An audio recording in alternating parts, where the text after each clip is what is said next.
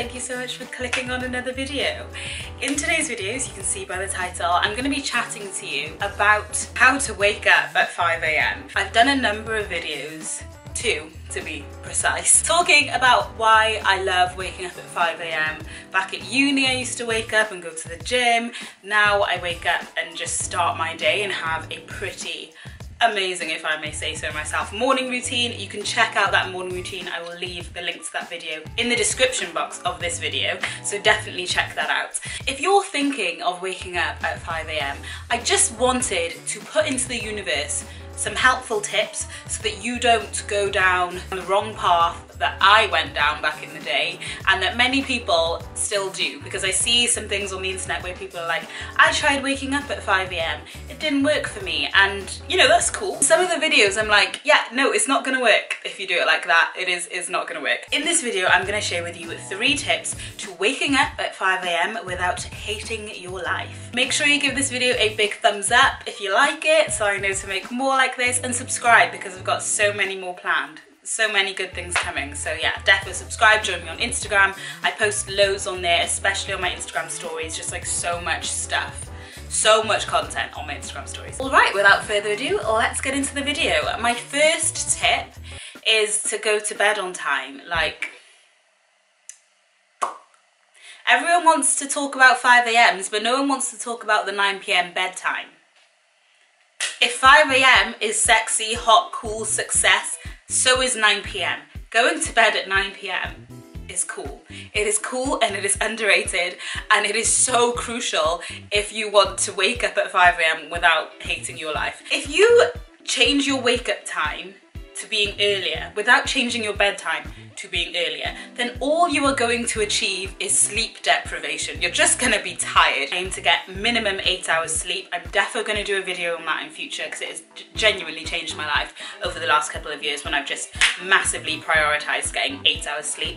Um, so I recommend you get between seven to nine hours sleep at least per night. When it comes to setting a bedtime, I recommend number one, choosing how many hours of sleep that you want. So start from 5 a.m. and count back the number of hours that you want. I personally go for eight, so my bedtime is 9 p.m.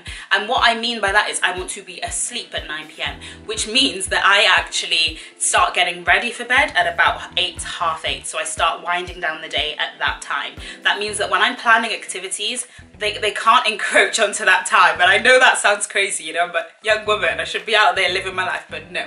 I want to be in bed by 9 p.m. and that means preparing for that. If you take a long time to fall asleep, factor that into the time. So if it takes you like half an hour generally lying in bed trying to fall asleep, be in bed by half eight. So setting a bedtime and sticking to it, well, it, it is literally my number one tip, but it is so important to the point where if I don't get to bed on time, if I'm not in bed by at least nine, half nine, then I push back my wake up time because I'm just not missing out on sleep. There's no point. In my opinion, there is no point in waking up at 5 a.m. if you've gone to bed at midnight. What are you waking up for? To be sleep deprived and tired? Sleep is so key. It's key for your health, long term and short term. If you want to be able to focus on things and take over the world, whatever it is you're waking up earlier for, if you want to be present and focused and at your best, you need to get enough sleep. It is so, so important. Someone who went from sleeping six hours a night to now sleeping eight hours a night, I I really, I really recommend it. I don't drink coffee after 7 a.m. to be honest. I'll have my morning coffee when I get up and I don't drink any coffee for the rest of the day. I try to avoid high caffeine products so then you're more likely to be able to fall asleep. Number two is to get an alarm clock. Most of us use our phone as an alarm, which is cool, it's cute, it's fine, it's handy. You know, these, these mobile telecommunication devices, they're pretty great, they're pretty great. But they are designed to distract us. So many of us have apps on our phones that are literally designed to distract us. Now, I could go on another rant about that. I don't have any notifications on on my phone. and it's glorious. Like the amount of stress and anxiety that I've been experiencing has dropped dramatically since I turned off my notifications last year. It's been great. I would highly recommend it. But anyway, even even without notifications, our phones are built to distract us and and if you're waking up and the first thing that you do is pick up this device which takes you into the world, it's going to be tough. It's going to be tough to focus. It's going to be tough to do what you need to do. So I recommend not using your phone as an alarm. I turn my phone off overnight, so there is no chance of something um, going off on there and distracting me. Uh, so I turn it off overnight and actually use a separate alarm clock. Now this alarm clock only does one thing it's so basic. I'll leave the link to purchase this alarm clock from Amazon in the description box of this video. Highly recommend it. It is so basic. All it does is ring. It just rings and it wakes you up. Getting an alarm clock will help you to wake up free of distractions and just wake up as, as you. I know that sounds really silly, but just waking up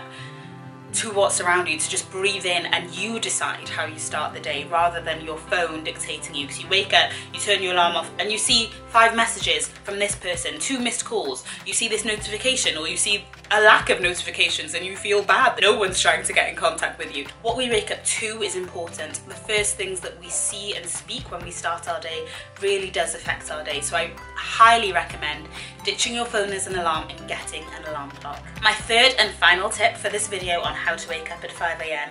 is to make a plan. Make a plan. Like waking up at 5 is great and stuff, but if you just wake up at 5 and sit in bed for two hours scrolling through Instagram, like I don't know, I don't think that's gonna change your life. So having a plan for your morning, why do you wanna wake up early? Like what is it you're trying to achieve? Have you just heard that most successful people do? What is what is it that you want success in? Is it that you want time to yourself and solitude and peace and quiet before your housemates wake up? Plan that. How are you gonna take advantage of that? Are you gonna go and sit in the living room with a book? Are you going to stay in your room? What are you going to do when you wake up? Make a plan. Decide what you're going to do with those extra hours and do it. Write it down, tick it off as you go, and just experience what you actually want to get out of this. Otherwise, you can get enough sleep, you can wake up not distracted, and you can still just kind of fall into old habits that aren't necessarily helping you get that successful start that you desire with an early morning. I really hope that you found this video useful. Make sure you let me know in the comments what you think. Do you wake up at 5am or are you like, nah, that's not for me, because that's totally cool too. Let me know what kind of videos you want to see next, because I know that there's a lot around this topic in terms of how to get a better night's sleep, why we need to sleep more and you know how it really does affect almost every single part of our lives. And just so many different questions around mornings and productivity and creating or designing and restructuring your day to create a life that you really enjoy and that, and that you wake up excited to live. That's something that I've really been working on over the last two years I'm so excited to share the things that I've learned as I continue to still learn so feel free to share any stuff that you've learned around this topic in the comments below.